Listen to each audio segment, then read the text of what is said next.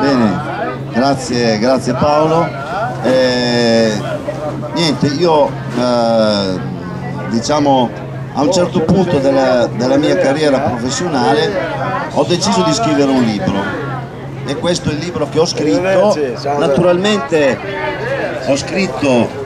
su, su altre cose, su giornali, riviste, ma io quando andavo in giro continuavo a sentire i miei colleghi che dicevano non si può cambiare la scuola perché bisogna fare come hanno sempre fatto. Bisogna fare come hanno fatto gli altri prima di noi dimenticando che prima di noi vuol dire rifarsi a una scuola di 50-60 anni fa e forse più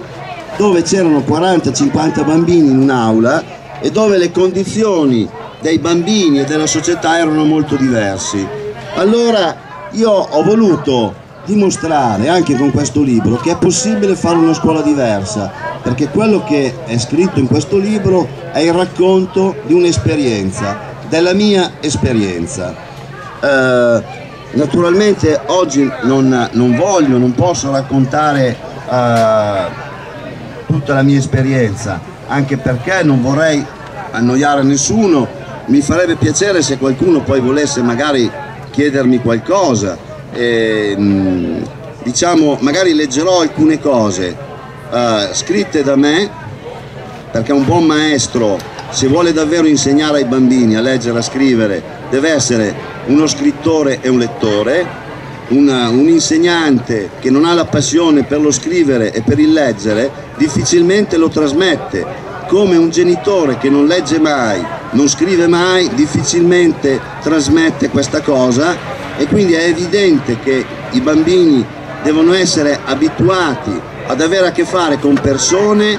che indipendentemente dalle loro capacità però siano curiosi, motivati e quindi non si limitino semplicemente a dire devi fare questo, ma che glielo facciano vedere con l'esempio, con quello che loro fanno. Quindi io ho scritto molto e ho sempre scritto per i bambini che avevo a scuola, scrivevo di tutto, scrivevo messaggi eh, quasi quotidianamente in cui con loro avevo un rapporto, una, un, un, un dialogo, scrivevo racconti inventati, filastrocche, si, eh, si scriveva di tutto. E i bambini a loro volta rispondevano o comunque si mettevano in gioco perché capivano che non avevano davanti un insegnante che voleva metterli bravo, bene, 5, 8, 7, ma un insegnante che voleva motivarli e che voleva che loro davvero imparassero a scrivere e a leggere, non per far piacere a qualcuno, ma perché a loro interessa, per loro deve essere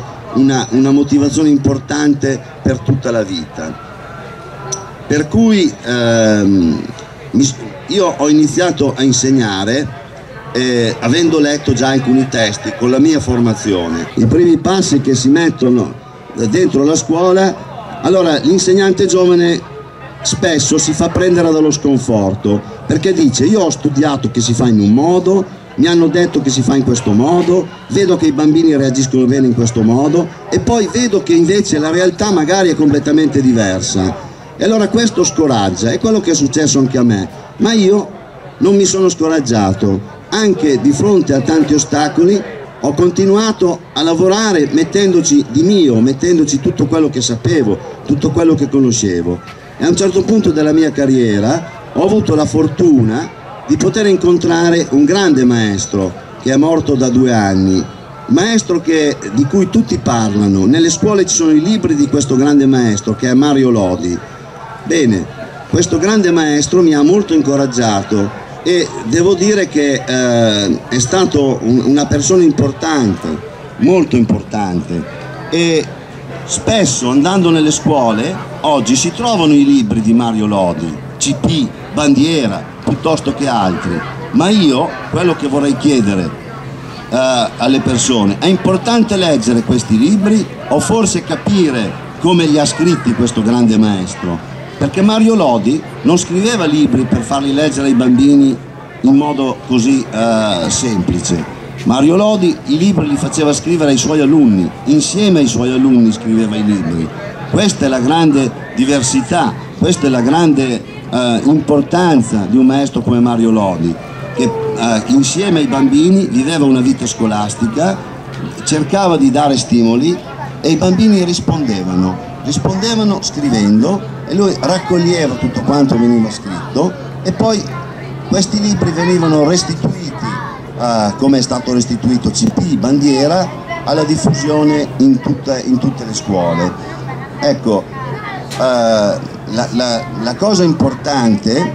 è dare motivazione. Quello che ci si dimentica, e io credo che questo oggi valga sia per i bambini sia per gli adulti, che tutti abbiamo bisogno di motivazioni. Non si fa niente se non c'è una motivazione che ci spinge a farla e la motivazione non può essere una cosa egoistica e individualistica. La motivazione può essere il fatto di scrivere perché ci piace, perché impariamo, perché lavorare insieme agli altri è bello ed è utile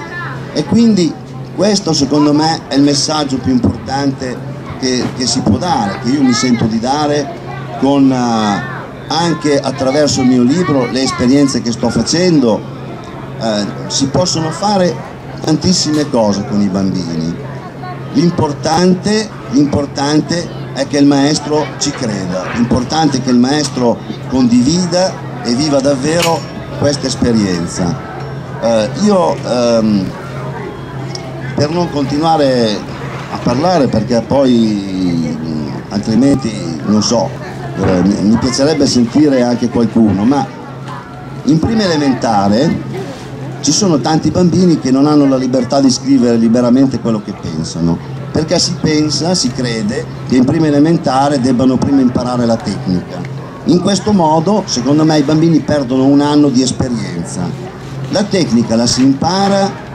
mentre, non dopo, non, cioè non prima, la si impara mentre. Io ho avuto bambini di prima che hanno scritto tantissimo e, e, e questo libro è il frutto di questo lavoro e, e, i bambini sanno mettere insieme un po' tutte le cose. Um, ricordo che uh, parlavamo spesso, perché i bambini uh, hanno sempre da parlare dei, dei compleanni, il, i compleanni erano una cosa che gli metteva molta allegria, noi a scuola li festeggiavamo e, e poi parlavamo insieme ai bambini che la cosa importante non è